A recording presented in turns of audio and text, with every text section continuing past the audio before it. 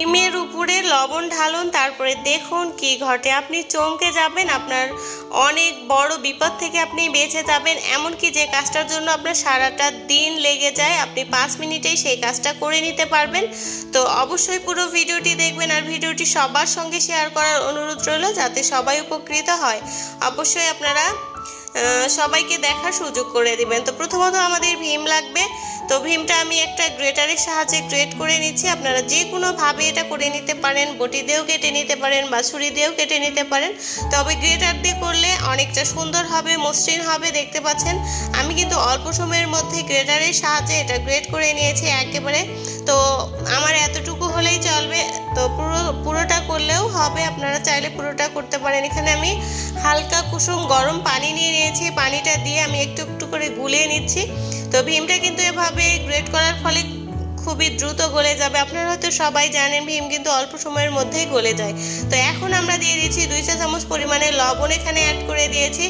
এখন আমরা দিব এক চা চামচ পরিমাণে বেকিং সোডা এখানে যদি আপনাদের বেকিং পাউডার থাকে, তাহলে বেকিং পাউডারটাও এখানে দিয়ে নিতে পারেন। এরপর আবারও ভালো মতো করে, সুন্দর মতো করে মিশিয়ে নিতে হবে। অবশ্যই দানা দানা যাতে না থাকে সেদিকে খেয়াল রাখতে হবে।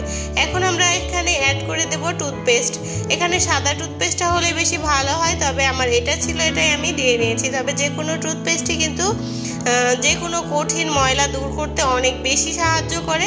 তো দেখতে পাচ্ছেন, আমি এটা ভালো করে গুলিয়ে নিয়েছি। এখন আমাদের লাগবে লেবু।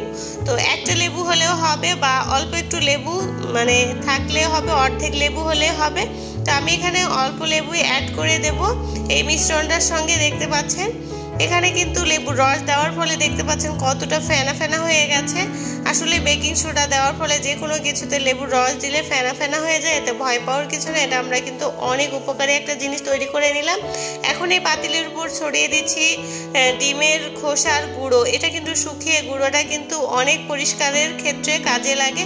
এরপর মিশ্রণটা দিয়ে অল্প অল্প করে ঘষে নেবে। এভাবে করে আমি প্রায় অনেকক্ষণ ধরে এটা ঘষে ঘষে পরিষ্কার করছি। যেহেতু আপনারা হয়তো সবাই জানেন, এই কালির দাগগুলো কিন্তু অতটা সহজে পরিষ্কার করা সম্ভব না। কিন্তু যে মিশ্রণটা আমরা তৈরি করে নিলাম, এটা কিন্তু যে কোনো কালি আপনারা অল্প সময়ের মধ্যে একেবারে চকচকে করে নিতে পারবেন। এরপর আমি আরও একটু লবণ মিশিয়ে দিয়েছি।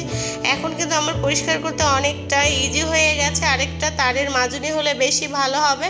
তো আমার এটার ভিতরে কিন্তু তারের মাজুনি ছিল। আমি একেবারে চকচকে করে নিয়েছি। আপনারা দেখতেই পাচ্ছেন কতটা ময়লাযুক্ত ছিল হাঁড়িটা, কত তাড়াতাড়ি পরিষ্কার হয়ে গেছে। এভাবে করে বাসাবাড়ির সমস্ত কালিযুক্ত জিনিস আপনারা এভাবে চকচকে করে নিতে পারবেন। ভিডিওটি কেমন লেগেছে অবশ্যই কমেন্টের মাধ্যমে জানাবেন আর ভিডিওটি সবার সঙ্গে শেয়ার করবেন যাতে সবাই উপকৃত হয়। সবাই ভালো থাকবেন। আজকের মতো আল্লাহ হাফেজ।